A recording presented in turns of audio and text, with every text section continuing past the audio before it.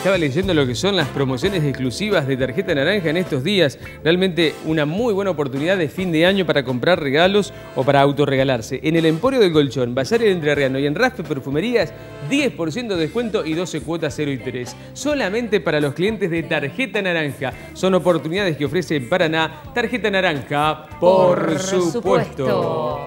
Y ahora, como todos los martes, por supuesto, con nosotros un especialista en temas provisionales para jubilados y futuros jubilados, la doctora Griselda Ramírez de Carbó. ¿Cómo está, doctora? Muy bien.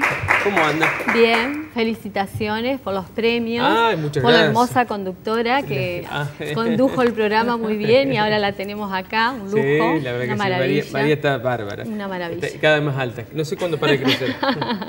Doctora, Juana Vega de Santa Fe dice, soy beneficiaria de pensiones no contributivas. Me tocaba cobrar hoy y no tenía saldo. ¿Puede que haya dado de baja la pensión porque inicié los trámites jubilatorios hace un mes? Sí, la señora estaba hablando con la telefonista cuando entré y efectivamente tendría que ir a ANSES, eh, Juana, Juana de Santa Juana Fe. de Vega. Santa Fe a la UDAI de Avenida San Martín puede ir ahí y averiguar si le ha sido otorgado el beneficio jubilatorio. Lo más probable es que le paguen en una fecha distinta a la que tenía previsto cobrar con la no contributiva.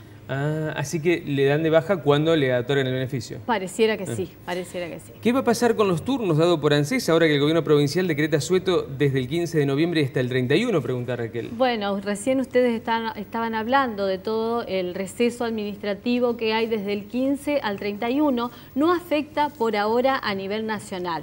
Los turnos de ANSES que han sido dados se van a respetar y en el caso de que por la cumbre eh, se suspendan las actividades, esos días serán retornados. Pero por ahora no hay novedades.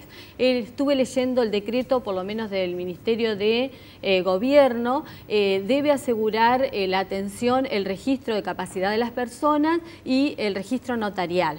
Después, respecto a la caja de jubilaciones de la provincia, comienza el receso también a partir del 15, no va a haber casi actividades, solo se van a extender las certificaciones necesarias para presentar el trámite en ANSES, que solo se solicita ahora para el caso de las pensiones, Ah. no ya para las jubilaciones como antes. En el caso de que alguien tenga turno para pensión, debe llevar el informe respecto del causante y del titular de la caja de jubilaciones. Esos informes sí se van a dar. Está bien. Y El- bueno, y a el- nivel nacional estaremos al tanto para darle la información, la información correspondiente. Casi siempre a nivel nacional se decreta sueto el día anterior o el día del 24 Entre el del 23, mediodía. eh, por ahora, por ejemplo, estamos esperando que se levanten los turnos 29 y 30 y no, ha- no hay turnos. Ah. Así que lo más probable es que se decrete eh, inhábil esos días.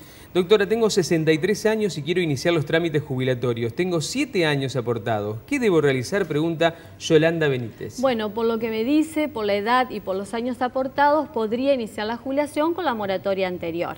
Así que puede acudir a un profesional o puede ir al CES y solicitar el turno para iniciar el trámite sin ningún ¿La problema. moratoria anterior sigue vigente? La moratoria anterior Ah, sigue vigente. Yo pensé que esta Con sus limitaciones, ¿no es cierto? Que en el caso de que tenga pensión, tiene que cancelar la moratoria o, este, eh, bueno, no hay turnos por este año, ya te digo, terminamos creo que el 23 y no hemos logrado conseguir más turnos para la vieja moratoria. Trabajo como empleada doméstica hace 11 años. Soy viuda, recibo una pensión, fui a ANSES para jubilarme con la moratoria nueva y me piden que renuncie a los años trabajados. ¿Cómo puede ser esto? Y con la moratoria anterior me piden que cancele la deuda que no puedo pagar porque son como 12 mil pesos, María del Carmen. Bueno, esto es algo de lo que hablábamos recién. Bueno, María del Carmen, efectivamente, esta moratoria nueva es una moratoria de inclusión social. Como la palabra lo dice, lo que pretende es que sea ágil, rápido y que no sea necesaria la verificación de los años trabajados. En este caso, como ella tiene una pensión, eh, no se puede eh, eh, no puede jubilarse con la moratoria anterior, que como te decía, requiere que cancele la deuda. Sí puede con esta, pero le piden que, que reserve esos 11 años.